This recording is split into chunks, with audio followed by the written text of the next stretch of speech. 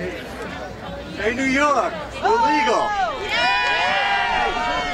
Curved Papers has uh, built a company here in New York. We're a New York company. I'm born in Brooklyn. My father's born in Brooklyn.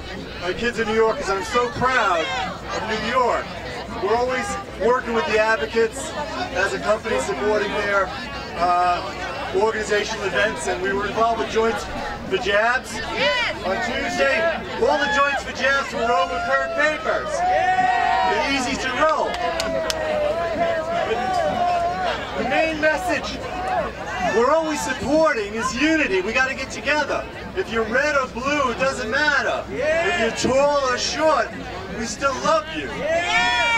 Even Met fans and Yankee fans should get along.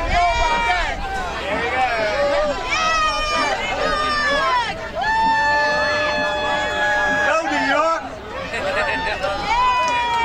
It's hard to follow Michael's act, but I must tell you, it's great to be here, see this crowd. What a beautiful day. Thanks to Steve Bloom for putting this together and delivering Senator Schumer here.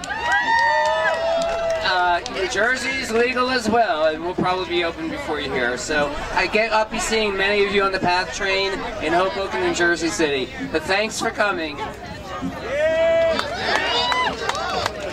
Out Cool Suppliers. They're putting these boxes in a thousand stores in New York this spring. Look for your Curved Papers in your bodegas.